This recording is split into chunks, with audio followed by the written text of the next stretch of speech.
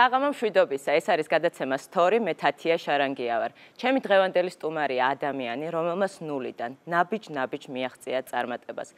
დაუღალავი შრომით, მიზანდასახულობით, მან გადალახა ყველა სირთულე და ალბათ ამიტომაც იღბალი მუდამ მის მხარეს არის. ფონის მოცეკვავე იყო და გახდა ერთ-ერთი ყველაზე სასურველი მოცეკვავე. ეპიზოდური როლები იქცა მთავარ როლებად. 8 წლის თავზე ქორწინებიდან არაჩვეულებრივი სანის მამაც გახდა. მოკლედ, ჩვენი სტუმარია, სახიობი, რეჟისორი, ქორეოგრაფი აჩიკო სოლოღაშვილი. აჩიკო. მოგესალმებით, ძალიან მომერიდა. ეხლა ნეტა გრიმი გამეკეთებინა და ისე შემოსულიყავ. ძალიან მიხარია რომ ხარ ჩემი სტუმარი. დიდი პატივია ჩემთვის თქვენთან სტუმრობა, იმიტომ რომ გიყურებთ, გულშემატკივრობთ და ძალიან მომწონს თქვენი გადაცემა და ისეთი სტუმრები ყოლიათ, რომ ეხლა უხერხულად. როგორ მიხარია, მე სულ გულშემატკივრობ. მადლობა ძალიან. გახსოვს ცეკვა რომ მასწავლე ქორწილში? ყველაფერი კარგად მახსოვს. ფანტასტიკური მეხსიერება მაქვს, ასე მგონი. იცი, ჯერ კიდევ მაშინ მეუბნებოდნენ, რომ თუ მინდოდა ცეკვა რეალურად კარგად და თან მოკლედ დროში მესწავლა, რომ ეს შენი ყავი და ძალიან ნერვიულობდი. და ცუდი მოსწავლე ვიყავი. არა, ვერ ვიტყოდი. შენზე მაგას ვერ ვიტყოდი.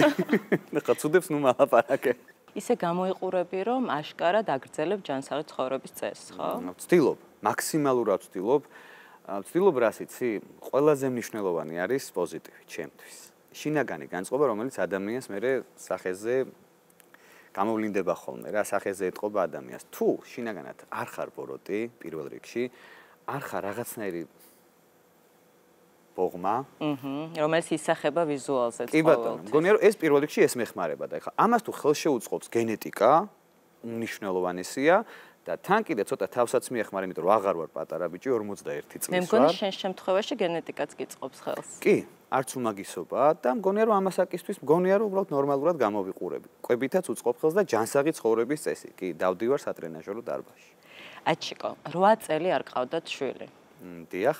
რატომ? ეს თქვენი გადაწყვეტილება იყო თუ იყო პრობლემებიც? იცი როგორ რაღაცა თავიდან არ გვინდოდა. ბევრი წელი. ამიტომ რომ ძალიან დატვირთული ვიყავი მეც, ნუცაც და როცა ერთმანეთს ხედავდით, მეც ეგოისტი ვარ, ნუცაც, მე კიდე უფრო. კარგი, რაც არის ყველაფერი ჩემია. ძაღლიდან დაწყებული, ადამიანებით დამთავრებული.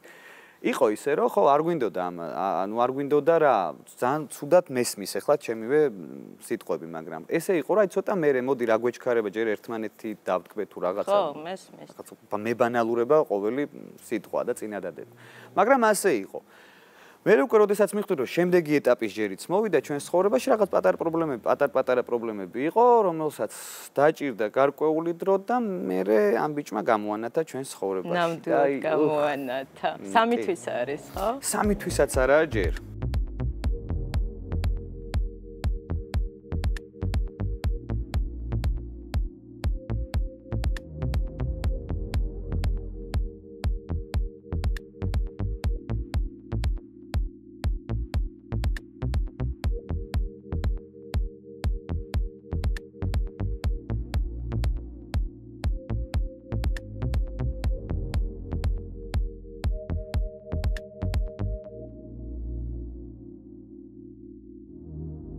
როგორი ბიჭია ეს ნანატი ბიჭი? კი, კარგი ბიჭია ძალიან. სანი, აი ნამდვილი სანი. ეხმარები ნუცას მისაღსრდაში?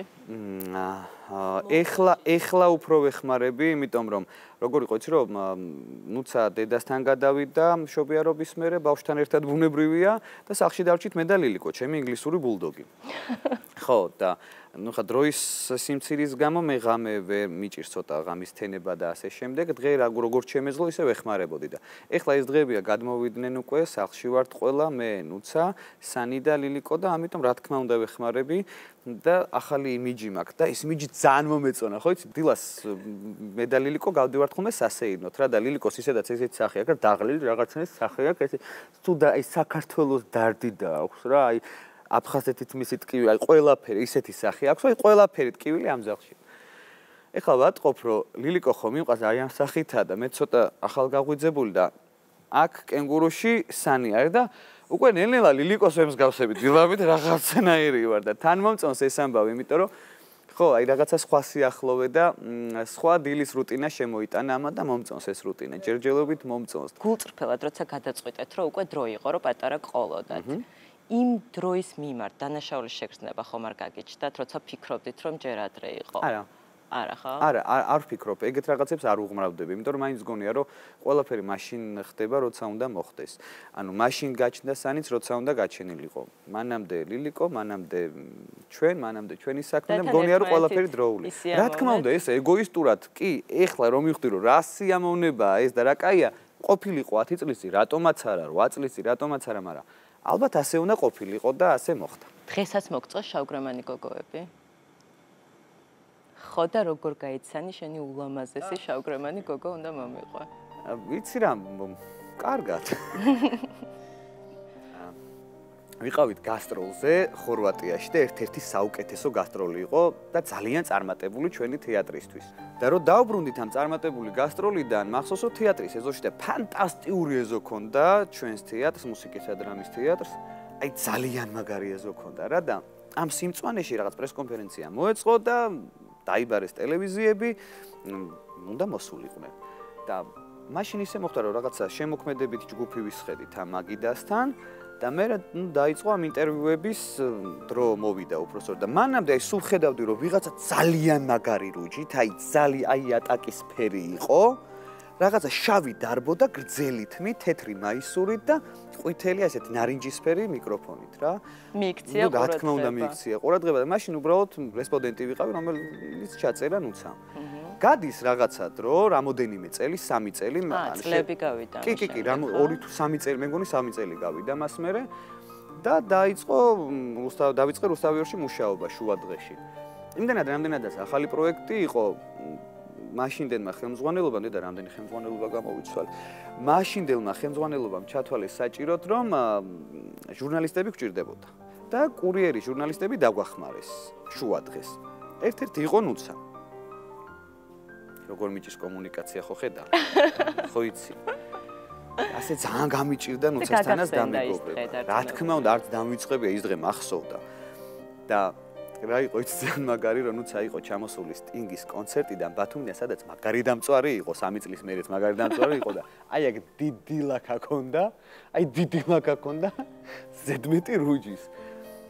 და მე ხო ეხლა გათვიცნობიერებული ვარ თავის მოვლა ჩემი ერთ-ერთი საყვარელი ხარი იმ წუთში აღმომაჩნდა ერთ-ერთი ფირმის ზეთი, სახის ზეთი, რომელიც ძალიან კარგია ეგეთ დროს. რა თქმა უნდა, ეს ზეთი მივეცი ნუცას.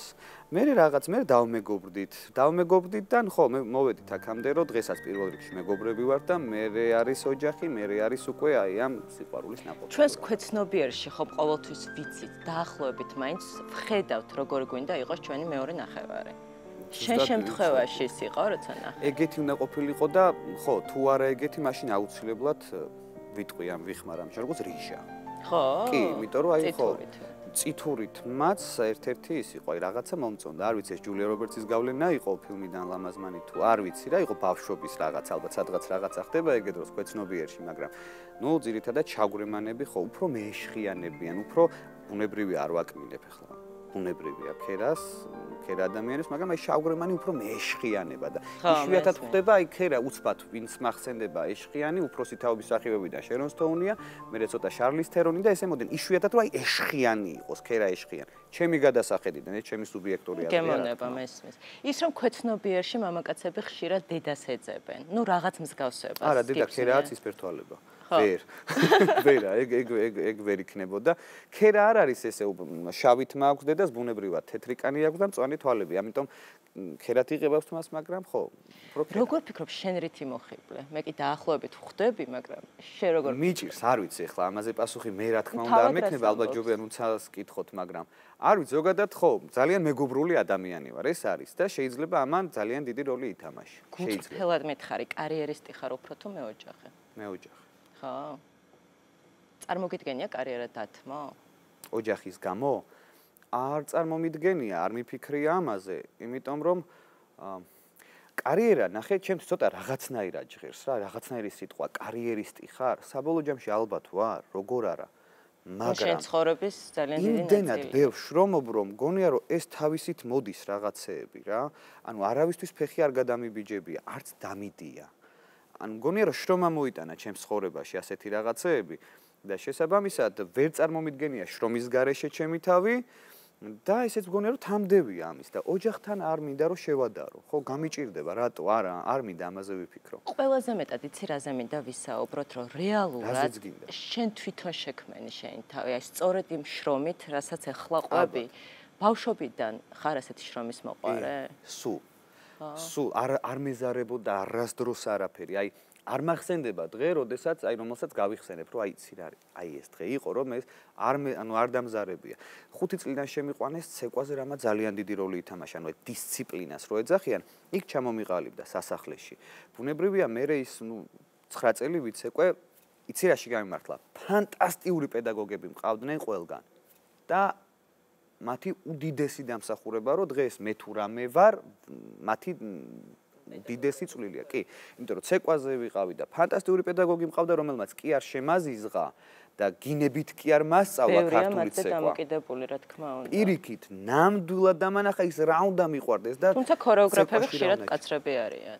ქართული ცეკვის ქორეოგრაფები გამორჩეულად მკაცრები არიან და ვისაც უვლია ცეკვაზე ეს მათი ხშირად ხდება ხოლმე მიზეზი რომ ბავშვები თითქოს კარგავენ სურვილს იყო იმიტომ რომ ერთხელ არ მახსოვს ჩემ ცეკვის მასწავლებლებს ბატონ თენგის უხაშვილს რა ჭირდა მაგრამ რაღაცა პერიოდი ერთი კვირა თუ ორი კვირა სხვა პედაგოგი გვიტარებდა და ეხლაც მახსოვს ტერფში აი აჭარულის ერთ-ერთი ლეც გვასწავლე და ტერფში წკეპლა ჩამარტყა რა. აი აი აქ აი გიყვები 35 წლის წინანდელი და დღესაც გახსოვს წარმოიდგინე ხო მახსოვს, იმიტომ რომ წკეპლით მე ვერ ვისწავლი, ვერ ვსწავლობ და არ მისწავლია. კარგი სიტყვით გამაკეთებინებ ყველაფერს, მაგრამ ეხლა ესე რო წკეპლი თუ მუშტი თუ ტონი თუ რაღაცა ეგ მე ვერ ვარ. ვიღაცა ეგეთი არის, კი რომ აი მისთვის ეს მოტივატორი ხდება, რომ აი მე არ მაგრამ მე მგონი იშვიათად ყოველთვის ჯობია ალბათ ადამიანურ ენაზე და თანასწორად შემოქმედოს პედაგოგმა. ჩემ შემთხვევაში ეს ამართლებს. ამიტომ ხო, შრომა მოიტანა მგონია რომ ბაღის ასაკიდან ყოველთვის იღებდი ზეიმებში მონაწილეობას. აუ, ერთი თავით მაღალი პარტნიორი მყავდა, ქართულს ვისაც ეცოკვებოდი. ძალიან საყვარელი გოგო. ხო შემოგჩა ეს დღემდე, რომ მოგწოს მაღალი გოგოები. მეგობრობ. ხა თიკა უახლოესი მეგობარია ჩემი ფაცაცი, ანუ ამას მიჩვეული ვარ ბაღით. აი ამას მიჩვეული ვარ. აი ამას. ხო, მაშინ ის იყო ძალიან кай, გოგ მიყვარდა ის გოგო ძალიან არ მინდა სახელის და გვარდასახელი. რა თქმა უნდა, გასმა მაგან მასწავლა. პირველი გასმა მანდედან მოდის. ხო, რომ მე და მე ერთი ბიჭი დაგვაყენეს და ვინც ისწავლიდა გასმას, ისიც ეკვებდა ზიმზე ქართულს. ხო, გოგო ერთი იყო, ბიჭი ორი ვიყავი და გასმა ვისწავლე იმის ეშხით, რომ მე იქ მეცეკვა და ის რომ ბაღში ასეთი აქტიური ხდები. აი ამ გოგოს გამო ხდებოდა და ეს იყო мотиваცია. თუ შენთვის მართლა სიამოვნება იყო, უკვე ასეთ პატარა. ალბათ უფრო სიამოვნება იყო მუსიკა, ეხლა ქართული რომ ესმის, ეხლა აი დოლგარმონი რომ ესმის, ეხლა ცუდად ხდება. ყველაზე დიდი სიამოვნებით რომელ ქართულ ცეკვას ასრულებ? გაჩნია როგორ განწყობაზე ვარ, ძალიან დიდი მნიშვნელობა აქვს, ძალიან დიდი მნიშვნელობა აქვს. აი არ ამგონია მოცუკვამ რომელიც უცბად გითხრას რომ აი დავლურს ვიცეკვებდი აი ჩემთვის დავლური ძალიან აი ისეთი მელოდია აქვს რომ ცოტა მუსიკალური განათლება თუ გაქვს მიხვდები კი ეგ არის ოსური აჭარული. აი ჩემი არისო ქართული გიждები ჩემი არასოდეს არ ყოფილა ხევსურული მოხეული აი თიულური ცეკვა. სადაც კიდე უფრო სხვა რაღაცა არის აბსოლუტურად გულწრფელად ვარ. აი კინტაური, სახასიათო ცეკვები უფრო ჩემი. ასევე ქართულს თუ გადაუხებ ჩემს ტემპერამენტთან და ენერგეტიკასთან, მგონია ესპანური ცეკვაც უნდა იყოს. ესპანური ნაცეკვი მაქვს, სასახლეში მაქვს ნაცეკვი. ძალიან მნიშვნელოვანი ცეკვა. და ძალიან მნიშვნელოვანი დღეს. ხო, იცი როგორი ისტორია აქვს ამ ცეკვას, რომ ქართულ ცეკვებზე დავდიოდი და ჩამოდიოდა მაშინდელი ოლიმპიური კომიტეტის თავმჯდომარე ანტონიოს კარლოს სამარანჩი და ეს იყო გადაწყვეტა რომ შენ უნდა გეცეკო. აბა და ეს იყო საქვეყნო ზეიმი რას ლაპარაკობდა. მახსოვს რომ ცხონებული იგორ გითოლენდი ამაში სასახლეში იყო სოფლიო ხალხთა ცეკვების ქორეოგრაფი. და მაშინ ბატონი იგორი შემოვიდა და თენგიზმა ნუ დამარჩია მე ერთ-ერთ მოცეკვავეთ რა ბიჭად რა დუეტი უნდა ყოფილიყო ბიჭი გოგო და ნუ ნებრევია რომ ძალიან ძალიან გამიხარდა რა თქმა უნდა რა და თან მართლა არავინ არ მყავდა და იმ პერიოდში არავინ არ ყავს და ესე გარჩევენ ეს ხო იყო. ბერიკებზე მინდა კითხო ხო? აი რომელმაც აი ცეკვის მერე იყო უკვე ბერიკები ვიცეკვე მერე. ესპანური მე ბატონმა გოგითოდაძემ დამინახა მე ბატონმა იგორმა წამიყვანა ბერიკებში თეატრალურ სტუდიაში და ბატონ თოდაძეს ვიცი რომ უთხრეს რომ არსებობდა ბიჭი რომელიც ძალიან კარგად ცეკვავდა მაგრამ არ ქონდა საშუალება ხო სწავლის. როგორი შეგრძნება იყო ალბათ დღემდე მოყვება ეს მადლიერებისგან ცუდი ცუდი რა უხერხული უხერხული, იმიტომ რომ მე ბერიკებში არ გადამიხდია. ალბათ ახლა ხო ამითიც ვერ ვიქნები ორიგინალური რა ძიმე პერიოდი იყო 90-იანი ყოველასთვის ძიმე იყო და ჩემს ოჯახსაც არ ქონდა შესაძლებლობა შესაბამისად ცეკვაზეც ბოლოს თანხა არ გადამიხდია ისე დავდიოდი და უღოდმეულო და ამაში ფულს არ ანუ არ არ მთხოვდნენ ჩემს ოჯახს და მადლიერი ვარ ყველა იმ ადამიანის ძალიან ძალიან მადლიერი ვარ და ამან იცი რა კომპლექსი გამომუშავა რომ დღეს თუ ხედავ რა ის სიტყვაზე აბიტურიენტია და არ აქვს შესაძლებლობა შეიძლება 24 საათი თვეების მანძილზე ვერ დაუთმო, მაგრამ არ არსებობს, რომ რა რითაც შემიძლია დახმარება იმაზე ვარ. დარწმუნებული ვიყავი, რომ ამას იტყოდი. კი, არ არსებობს, აი, არ არსებობს. ესე მოხდი ბერიკებში, იმ სიბნელეში ყველაზე ნათელი წერტილი იყო. ბერიკები იყო აი მაშინ როგორ იცი, რომ რა არაფერი არ ხდებოდა, ხალხო. რაღაცა 15 ბავშვი ვიყავით, იდგმებოდა კარგი სპექტაკლები ბატონ გოგითოდაძე დგავდა თვითონ სპექტაკლებს და რაღაცა მართლა 64 იყო და თან მიმართლებდა რომ მეტროს ფული როგორ იყო იცი რომ მეტრო მაშინ ელექტროდებო იყო ეხლა გოცირიძია მეტროსთან ცხოვრობდი და ამოდიოდი ხოლმე და იქიდან ეს რო სადმე შორს ყოფილიყო მეტროდან ძალიან შორს ვერ ვივლიდი. იმიტომ რომ იყო ჩემს ცხოვრებაში ის ეტაპიც, როდესაც სახლიდან ფეხით მიწევდა სასწავლებელში სიარული ნახალოკიდან დიდუბეში, ასე ვთქვა. იყო ესეც რა, მე მამიდასთან გადავედი ამის გამო საცხოვრებლად, ანუ რაღაცეები იყო. ახლა სწორედ აი ამ ბავშვობის წლებს ხრუშოვკას მინდა მეუბრუნდა ნახალოკას. ოროთახიან ბინაში იზრდებოდი, პრინციპში მაშინ ყველა ასე ცხოვრობდი. კი ბატონო. მაგრამ მინდა გაიხსენო ეს წლები. აა, კარგი იყო.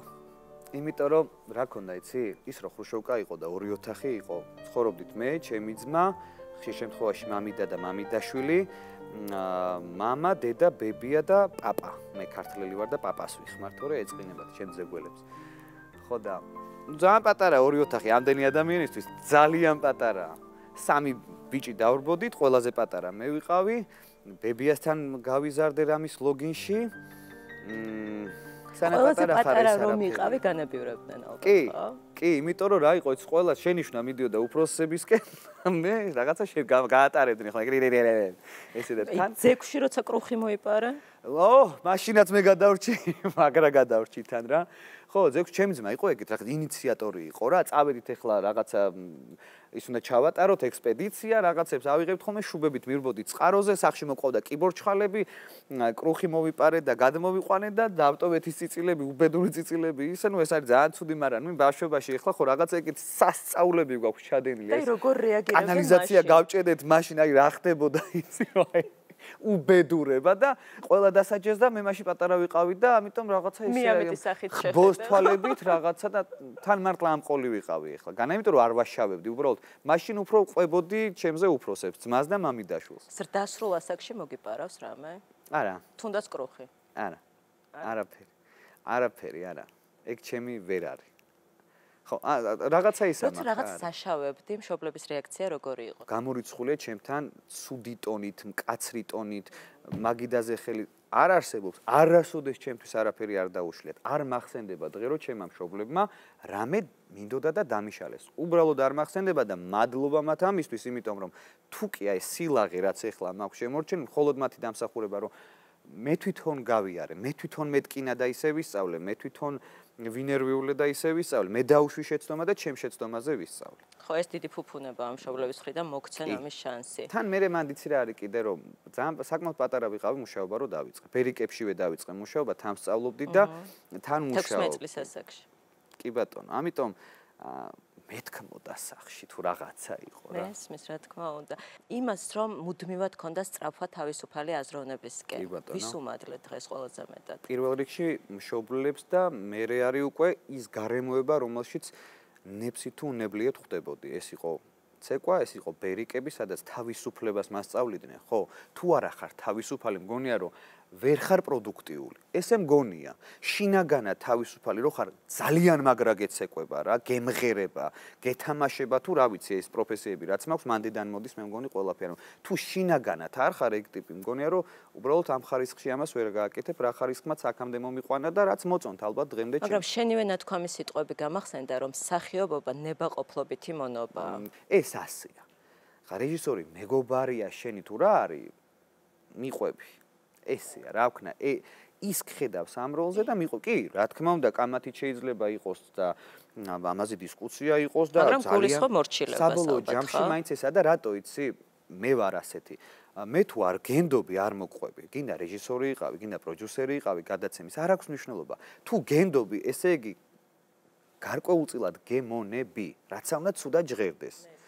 იმიტომ რომ შენს დაქვემდებარებაში ვარ და იყო დრო და არის ხო რომ აი დოი რომ მეუბნება რომ აი უნდა შეასრულო ბოთლი ის პირველი ის კითხვა კი არ მიჩნდება რატო ბოთლი რატო ამდენი როლია? ნაწილობრივ ალბათ ყველა პროფესიაში არის ასე, ხო? ალბათ, უბრალოდ მე შემიძლია ამაზე ხმამაღლა საუბარი არ მეთაკილება. ნამდვილად კი. არ მეთაკილება ამაზე საუბარი. ჩემი პროფესია პირდაპირ ამაზეა.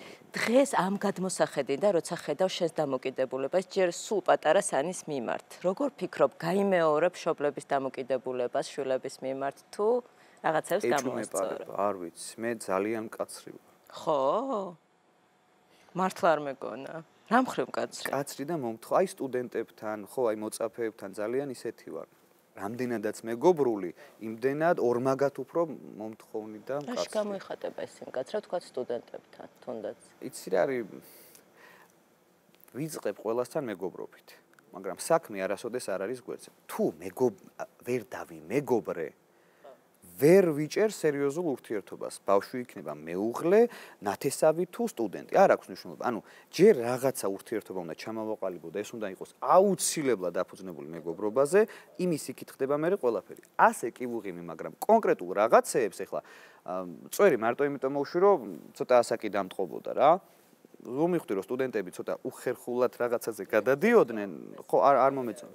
და შესაბამისად მკაცრი ვარ იმით, რომ აი საქმეს მეგობრობა სარდავა ჯაბნინებს საქმეს, რისთვისაც, აი მომიყვანე დღეს აქ, რისთვისაც უნივერსიტეტში ვასწავლი თეატრალურში, მეტყველების კულტურას ვასწავლი.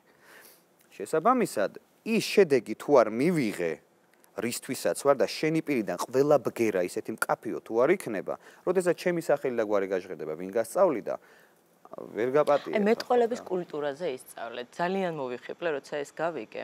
და დავინტერესდი ხშირად აკრიტიკებენ ქართულ ჟურნალისტებს ამ კუთხით. რას ფიქრობ? გასაკრიტიკებელი. მოწოდების სიმაღლეზე არ ვართ ჯერ, ხო? ეს არ არის ჟურნალისტის ბრალი. ეს არის ბაღის მასწავლებლის ბრალი. ეს ჩემი სუბიექტური აზრია. რომ მგონია რომ ბაღიდან უნდა მოდიოდეს ეს მერე სკოლაში, მერე უნივერსიტეტში და ასე შემდეგ და ასე შემდეგ. ზრდასრულ ადამიანს მარტო მეტყოლება ხო არ არის მილიონი ორგანული პრობლემა შეიძლება კონდეს მე არც ლოგოპედი არ ვარ და არც ქირურგი. შენ რო იცი რო ისე ჩააბარე ჟურნალისტიკაზე და ისე დაამთავრე ეს ფაკულტეტი წად შეიძლება ძალიან კარგათაც ფანტასტიკურად და მე რეგებულობ რომ თურმე პრობლემა გაქვს. ეს შენი ბრალი არ არის ეს არის მე თუ მკითხავ ბრალი იმ უნივერსიტეტით, სადაც არ ჩათვალეს. შეიძლება ამის გამოსწორება. ყველაფრის გამოსწორება შეიძლება, მთავარია ჩვენ ადამიანებს, ჩვენ თათა მქონდეს პრეტენზია და ამბიცია, რომ ვიყოთ საუკეთესოები. თუ მე მინდა რომ ვიყო საუკეთესო, მე დღესაც ვფიქრობ, ჩემი იმიჯიდან დაწყებული, აი ყველაფერზე ვფიქრობ, რომ ვიყო სულ მოთხოვნადი, აქტუალური და წარმატებული. მე ამ ჩემსავთან თუ შევწყვიტე ეს მოთხოვნები, მე პირველ რიგში მე აღარ ვიქნები. მუდამ გინდა იყო მოთხოვნადი. ის რომ სარეჟისოროზეც ჩააბარე უკვე მაგისტრატურა. ეს ხوار განაპირობა იმანაც, რომ სამწუხაროდ მაშინ და ნუ დღეს ნაკლებად მსახიობები არ იყვნენ იმდენად მოთხოვნადები, როგორც შენ ისურვებდი. არა, არა. თუ მუდმივად მეტის ძიებაში იყავი საკუთარ. ეს ჩემი ბრალია, რომ სულ რაღაცა ვცდილობ რომ ვისწავლო. ჩემი ჩემი არა მე მგონი ძალიან კარგი თვისება. ალბათ ხო აი სულ ვთქვი რომ რაღაც ახალი ვისწავლო აი რაღაც ეხლაც კიდე ისეთ რაღაცას მოვეჭიდე და ხო აი ესე მინდა. სახიობები დაჩაგრულებია ვერ ვიტყვი რომ სახიობი დაჩაგრულია სახიობებს აქვს ძალიან ბევრი პრობლემა რა თქმა უნდა. იმდენი თეატრი და რესურსი არა რომ ამდენი სახიობი ყავდეს. ესეც ისე იქ განათლებაში მივდივარ და არ მინდა ამ თემაზე ვისაუბრო ჩემი საქმე არა უბრალოდ ისევე როგორც სხვაგან ამდენი ექიმი რადგინდა თუ ვერ დააკავე ჩააბარებ სწავლობ 4 წელი და მე ხვდები რომ ვეღარსად ვეღარ მიდიხარ. სტუდენტობა ძალიან კაია თეატრალურში და მე უცბად რჩები იცი როგორო და არ არის ამდენი თეატრი უბრალოდ არა ამდენი თეატრი. შენ ძალიან გაგიმართლა ძალიან. ვინ იყო ეს ადამიანი? ვინც პირველად დაგამტკიცა როლზე. რო ჩავაბარე თეატრალურ უნივერსიტეტში პირველი როლი მომცა ქალბატონმა მანანა ბერიკაშვილმა რომელიც გავდა ებრაულ პოეზიას და ვიყავი სები ანუ სიკეთის სიყვარულის სიმბოლო და მქონდა ბრონზაში მქონდა მთელი თავი, აი მთელი თავი მქონდა ბრონზაში და აი როგორი ცრემლდენა მქონდა ყელში სიმშრალი უბედურება ხდებოდა. ჩემ თავზე მე მაშინ თამაშობდი ყველა უსიტყო როლი. ალბათ ყველაზე რთულად ქორეოგრაფი ვიყავი ამ სპექტაკლის ხო და უფრო მეტი უნდა გადმოცე ეგ დროს ხო შენი სხეული უფრო მეტს უნდა აბობდეს და უფრო რთულია კი. სხეულის ენით ნათქვამი ამბავი ბევრად უფრო რთულია რა გამომივიდა ეს არ ვიცი და ალბათ რაღაცა პატარა მაინც გამოვიდა მაგრამ უფრო რთულია. პირველი იყო მანანა. მე მესამე კურსიდან ასევე თეატრალურ სარდაფში მოხვდი. და ძალიან კარგ წლებს დაემთხვა. ძალიან ცეთი იყო თეატრალური სარდაფი მაშინ. კი და მაშინ იყო მართლა ბევრი სპექტაკლი და ინსტინქტი იყო ესეთი სპექტაკლი. სადაც შემაგდეს პირდაპირ მნიშვნელობით და ეს უნდა მეთამაშა და ნუ ფანტასტიკური პარტნიორები, უმნიშვნელოვანესი ამ სახიობისთვის პირველი ნაბიჯების დროს პარტნიორები ვინ ყავს? იქ იყო დუტას ხიტლაძე, იქ იყო ბაიკოდვალიშვილი, ჩემი სიცოცხლე, ნანკა სკოლსკი, ანუ აი გამიმართლა პარტნიორებშიც გამიმართლა გარდა პედაგოგებსა და რეჟისორებს. რუსთავი 2 მინდა ახლა გავიხსენო. ეს ხმაურიანი დაშლა რუსთავი 2-ის. როდესაც სამ სხვადასხვა ტელევიზიაში გაიყო პრინციპში სტაფი. გაგიჭირდა იმ გადაწყვეტილების მიღება დარჩენის. რთული იქნება. დარჩენისა, წასვლისა, ანუ ზოგადად აი ერთ-ერთი ყველაზე ყველაზე რთული პერიოდია ჩემთვის. და ეს სირთული რაღაცნაირად ეხლაც მომყვება, იმიტომ რომ მე თვითონ ვარ ძალიან სტაბილური ადამიანი. ძალიან აი თუ მიგიღე და შენთან ვარ, ასე ვიქნები და ვიქნები. თავისი კარგი, თავისი ცუდით, მაგრამ გამიჭირდა. ძალიან გამიჭირდა, იმიტომ რომ დაიშალა, ну, აი დაიშალა და ეხლა იწყებს ნოლიდან რაღაცას და ეხლა ჯერჯერობით მარტო შენობაა დარჩენილი.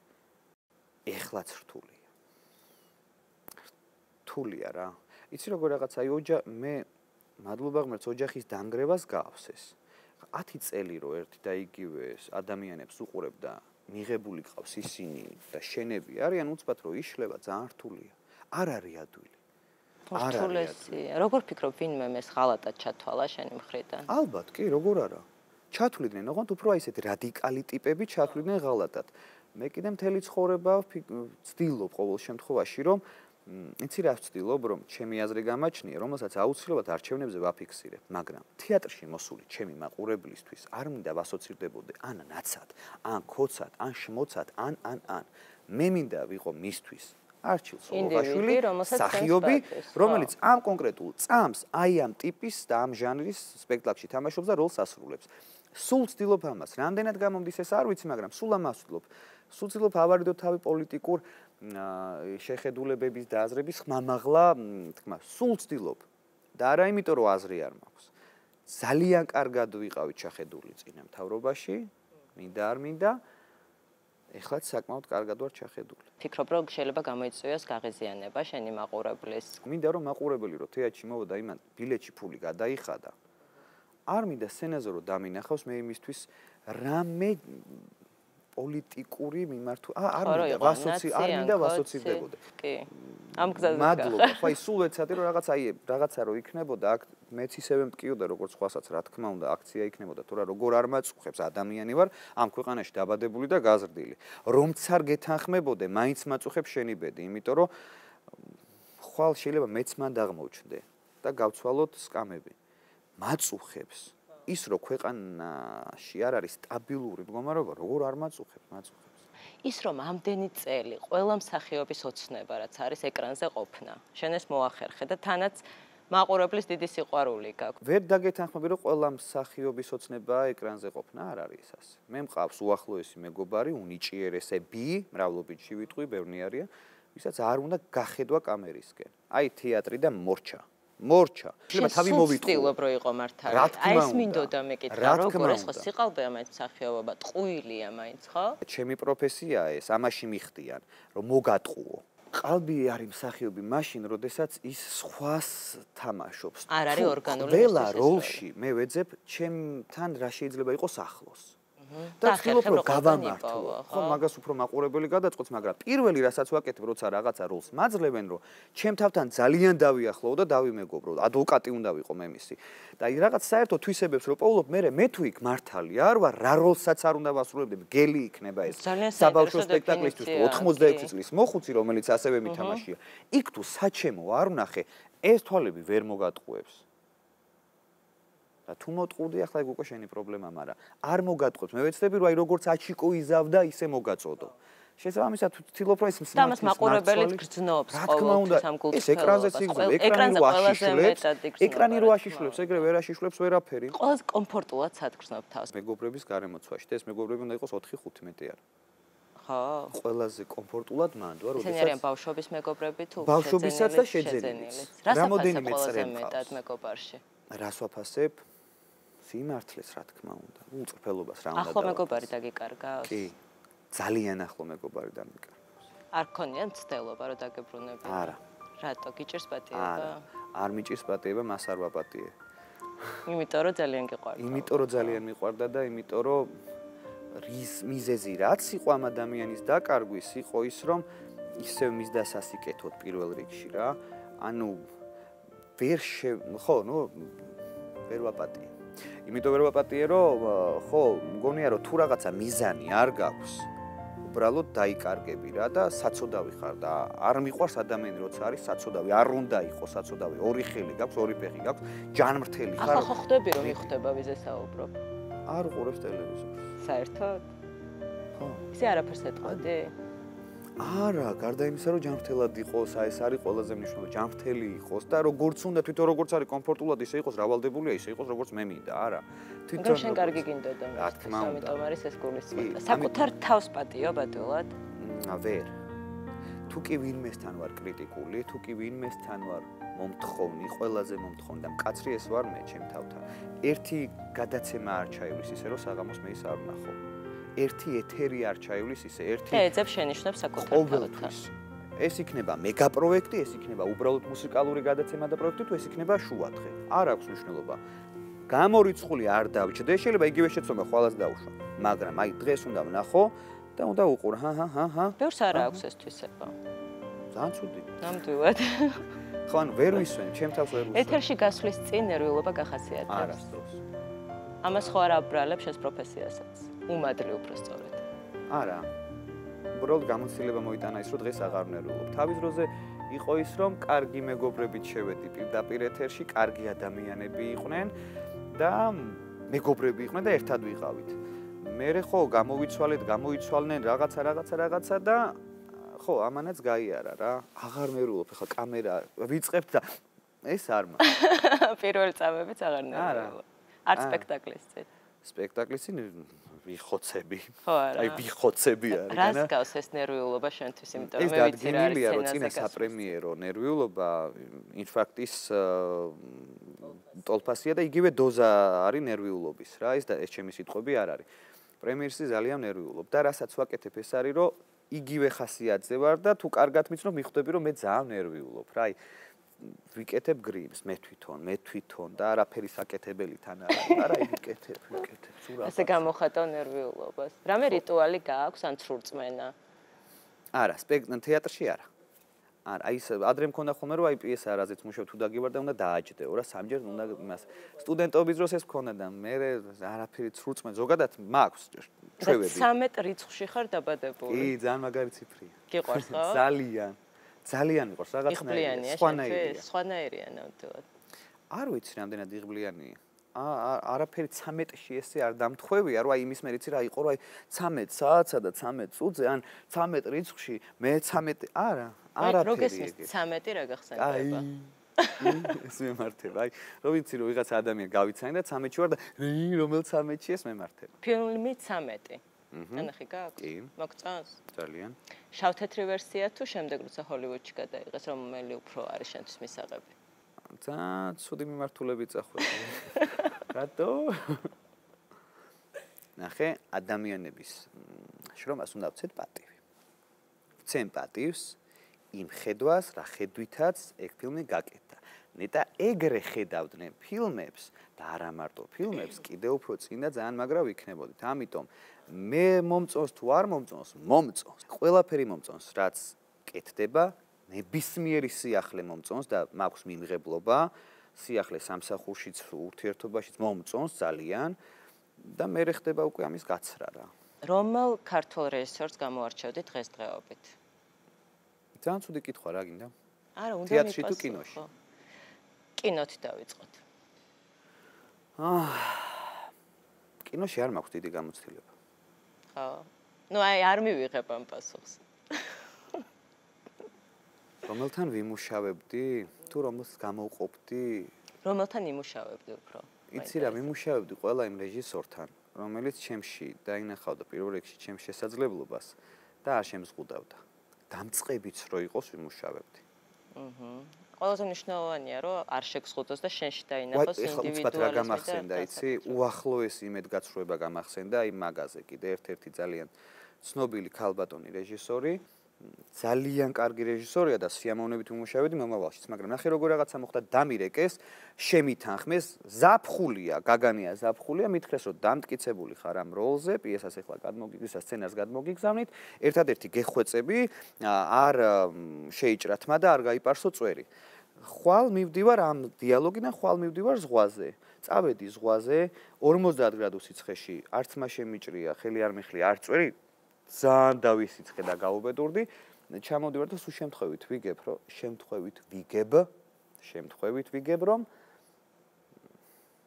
რაღაცა სცენარში რაღაც ცვლილება მოხდა. და უნდა მეთამაშა ქორეოგრაფი. ქართული ცეკვის ქორეოგრაფი. ის კი არ მეწყინა რომ რაღაც არ გამოვიდა. არა, ყურადღების ამბავია. რა თქმა უნდა, პირველ რიგში. რუჯი არ მივიღე ზღვაზე და ზღვაში შევდიოდი, როგორც 50%-იანი მესვა რო რაღაცა იქ რომ მე გადაღებაზე და ძალიან მეტკინა, ძალიან მეტკინა, უყურადღებობა მეტკინა, იმიტომ რომ არ ვარ 2 წლის ბავშვი, არ ვარ სტუდენტი, რომელსაც ეს ტკივილი აძლიერებს, ეს ტკივილი არ მაძლიერებს, ეს ტკივილი მიკარგავს ნდობას და მიჩნდება ლანძღვის სურვილი. და ეს არ მსიამოვნებს. ხშირად ილანძღები ესე? არა. არ მაქვს ეგეთ ადამიანებთან როგორ ხარ ზოგადად გაბრაზებული, ან იმედგაცრუებული? რა ვიცი. რამე უთხარი მაშინ ამ მოსამართლობაზე? გამოხატე შენი პოზიცია. კი, ოღონდ სუბუქა, ძალიან სუბუქა, უბრალოდ კარგი იქნებოდა, რა თქმა უნდა, კარგი იქნებოდა თქო, რომ ეს ცოდნოდა, იმიტომ რომ აი ძალიან ცუდია. იგივე მქონდა თეატრთან მიმართებაში. სადაც დიდია კონკურენცია, დარწმუნებული ვარ, იქნებოდა იქაც იმედგაცრუება. თეატრში ოღონდ აქ ეს დოის არ ეხება, სტუდენტი ვიყავი მაშინ და ხვდება რეჟისორი, რომელიც ამას ამას მოკიდა ხელი რომელმაც და მეუბნება რომ გოგიას როლზე იქ არის ახალგაზრდა ბიჭი შეყვარებული წყვილე. ფანტასტიკური სპექტაკლი ფანტასტიკური მსახიობები სასწაული საოცნებო. საოცნებო და დამტკიცებული ხარ. და აწყობილი მაქვს ყველაფერი რომ აი როგორ ვითამაშებ და რას გავაკეთებ და თან სტუდენტი ვარ აი რაღაცა ფანტაზია მაქვს. და მე პრემიერაზე მივედი უკვე სხვა მითამაშა და ყოფილა ეს შემთხვევა, რომ აი ესეთი რაღაცების გამო შემდეგ ამას დეპრესია გამოუწვევია და ეს არასოდეს მიცემ ჩემ თავს დეპრესიის უფლებას. ვის ცალია მაგისტვის? რანაირად? არასოდეს. დეპრესია რატო უნდა მქონდეს დეპრესია? ეხლა მით უმეტეს ახალი ეტაპია ჩემ ცხოვრებაში, უიგე სახში მელოდება. არა, უფრო გულისხმობ ისეთ წლებს, როცა მსხრევადია ჩვენი ფსიქიკა და ყველაფერი მოქმედებს. არ მახსოვს, იმიტომ რომ ალბათ იმიტომ რომ მაინც ოპტიმისტი ვარ შინაგანად და ვერ ვჯერდები რაღაცებს და სულ ვცდილობ რომ რაღაცა გავაკეთო ახალი და რა მემართება იცი რომ ჩემთან სულ მომართლებ რა ალბათ ეს ასე უნდა მომხდარიყო და ასეც არის ეგეთი ტკივილის მერე ტკივილის მერე დეპრესიის მერე არ ეგეთი ტკივილის მერე არ არსებობს რამე საპირწონე კარგი არ მოხდეს. ა გამორიცხულია არ ვიცი ეს საიდან მოდის, მაგრამ ეს ასე ხდება ხოლმე. აჩიკო მართალია რომ ადამიანს შანტაჟში გდებდნენ ბრალს? იყო ესეც კი, მე და მაშინ თან პატარა ვიყავი. აი ძალიან სასაცილო ისტორია, აი ძალიან სასაცილო ისტორია, აი ძალიან. და ცხონებულმა გიბერიკაშულმა მიშველა მაშინ აი ძალიან სასწაული ისტორია, შეყვარებული. შენ და შანტაჟი ვერ ხვდები? არა, რა თქმა უნდა, არაფერ, რა თქმა უნდა, არაფერ კავშირშია, უბრალოდ უპატრონო ვიყავი რა და ადვილი ხელის დასადები თუ შესახოცი თუ შესაწმენდი თუ საქმე ქონდათ დასახური არ ვიცი მაგრამ იყო. ეს ისტორია არსად არ მომიყოლი ანუ ძალიან ისეთი რაღაცა არის. აი ეხლა კი ღიმილით მახსენდება მაგრამ წარმოიდგინე პატარა ვარ სტუდენტი ვარ მყავს შეყვარებული მაქვს ურთიერთობა ერთ მშვენიერ დღეს მირეკამე რაღაცა ამ რეგიონ რაღაც საგამოძიებელ გიბარეთ მომდა მოხვიდი აქა და რატო უნდა მოვიდი თქვენ გედებათ ბრალი რაღაცა და მოკლედ რას მალაპარაკებ უნდა მოხვიდე ბიჭო? ჩავძაღლდი სტუდენტი ვარ აი უპატრონო პირდაპირ მნიშვნელობით უპატრონოს გულისხმობ რომ არავინ არ მყავს გავლენიანი არც ნაცნობი არც მეგობარი. მაშინ მაშინ ის იყო რომ მხოლოდ ტელევიზორით თუ ნახავდი ვინმეს. ხო და მაშინ უკვე სწავლობდი და ეს მოუყევი, მოუყება ბერიკაშვილების ოჯახი ჩემ ძალიან ახლობელი ოჯახი არის და მანანას მოუყევი, ესეთი ესეთი რაღაცა მოხდა მეთქი, მიბარებენ თქო, რაზე მიბარებენ მეთქი რაღაცა და გაგიჟდა გივი. გაგ ანუ რას ანუ ბრალად მედებოდა ვიღაცა პროფესორის შანტაჟი, რომ მე ვაშანტაჟი და თან ხავს თხოვდი ამაზე და თან ძალავდი. მე თან ეხლა რა ვარ და მაშინ უნდა გენახა მარტო თვალები. რა არ დაგდგომოდა გვერდში მაშინ ბატონი გივი. იცი რა იქნებოდა? ესეთი ისტორიები გამიგე და სუმგონია რომ ზღაპარია და სიზმარია და ცუდი დაწერილი. ძიმე დაწერილი სცენარია, როცა ჩვენ არ გვეხება, ასე გუგონია სამწუხაროდ. მიჭერდნენ იმიტომ რომ მე გავიგე რომ ეს იყო ერთ-ერთი ყველაზე მძიმე სტრუქტურა სადაც მიბარებდნენ რკინის მკვნეტელებს ეძახდნენ და კიდე კაი რომ ეგ ხო მარტო არ მივედი და გივი გამომყვა გივი გამომყვა იქ და რო დაგვინახეს ორი რაღაცნაირი თვალებით და იქვე მიხვდა ერთ-ერთი მათი უფროსი ვინც იყო რომ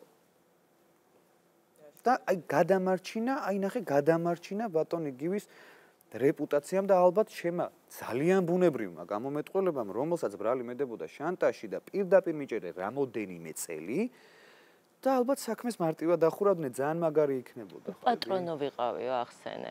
დღეს 21 საუკუნეში როგორ ფიქრობ, კიდევ ასე განიხილავენ ადამიანებს, ვის ვიღაც ლობირებს, პატრონი ყავს, უპატრონოა. დღესაც ვახარისხებთ ასე ადამიანები ერთმანეთს. ალბათ. მე არა რა თქმა უნდა. არა, მაგრამ ალბათ არის ეს და სამწუხაროა თუ ეს არის, ძალიან ცუდია რომ ეს ასე არის. ძალიან ცუდია, იმიტომ რომ ხო, მე ვიცი ეს რა არის, როდესაც არავინ არ ყავს რა და ამდენ სფეროში გინდა რომ მოხვიდე და არავინ არ ყავს თეატრალურში მე რო ვაბარებდი, მაშინ თეატრალური ცნობილი იყო, რომ თუ არ ყავდა ახლობელი რაღაცა ისე ვერ ჩააბარებდი, ან უნდა მომზადებულიყავი რაღაცა და ჩემ ჯგუფში ძალიან ბევრი ჩემნაირი ადამიანი გავიჩიტეთ, რომელიც მათ ჩვენი ჩავაბარეთ, უმაღლესი ქული ჩავაბარეთ. და კი, მე მწამს ის, რომ ნიჭი არის კარგი. გარდა იმისა, რომ მუდმივად შრომობდი და მართლა ეს ძალიან დიდი შრომის ფასად არის, ყველაფერი რაც ხდება შენს ცხოვრებაში. როგორ ფიქრობ, რამდენად დიდი როლი ქონდა იღბალს შენს ცხოვრებაში? ალ იღბალს როგორ არ როგორ არა? იღბალი არ არის, რომ საუკეთესო ადამიანები მასწავლიდნენ და საუკეთესო, ანუ საჭირო დრო საჭირო ადამიანები შემოხვდნენ. მე ამას უკვე იღბალს ვაბრალებ.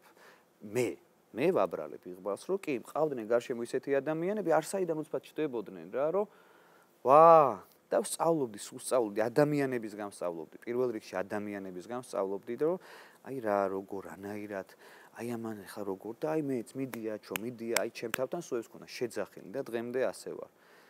იშვიათად არის რომ ნუ თუ დამთავრდა და აზრი აღარ აქვს ბრძოლა. ძალიან იშვიათად არის ასეთი რაღაც. ბედის წერის გჯერა აბრალებ ყველაფერს.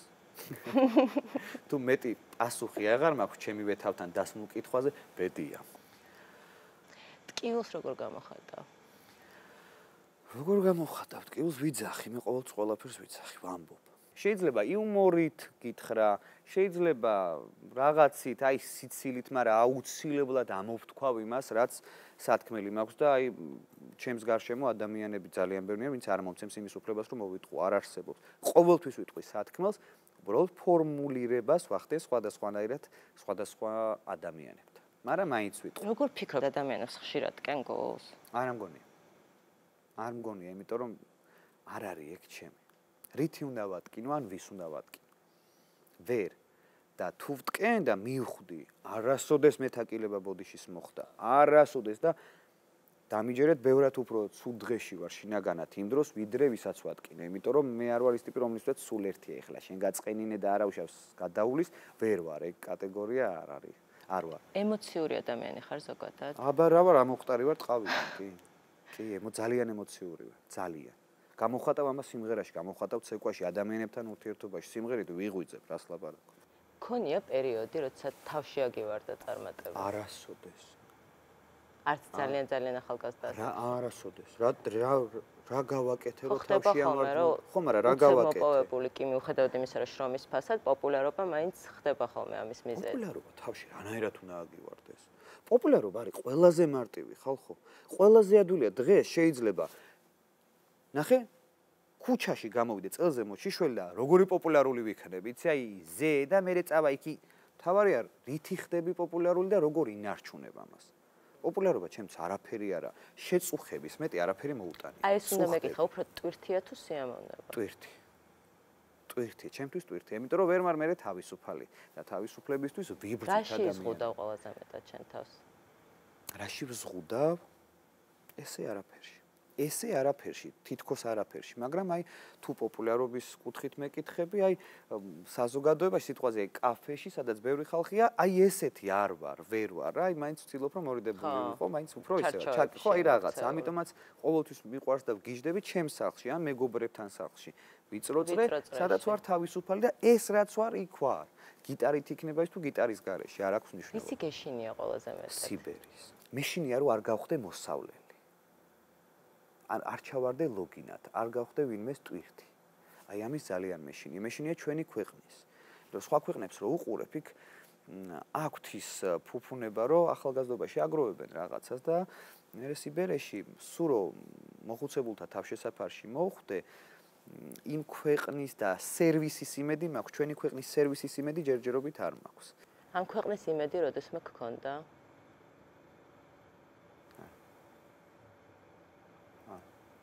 არც მაშინ, როდესაც შენ სკოლის პერიოდს დაემთხვა ეროვნული მოძრაობა, მაშინ იღებდი ამ პროცესებში მონაწილეობას. მაშინ პატარა ვიყავ 9 წლის ვიყავ. 9 წლის ვიყავი და მშობლების გავლენა იყო და ხო, ისეთი სკოეთება. ხო, ეგ გადამდები არის როგორ არ არის. ქვეყნის იმედი ისეთი რაღაცა არის რა, ძალიან არ არის მარტივი. მე მინდა მქონდეს ერთია, მაგრამ აი იცი როგორ მარტივ მაგალითს მოგიყვან?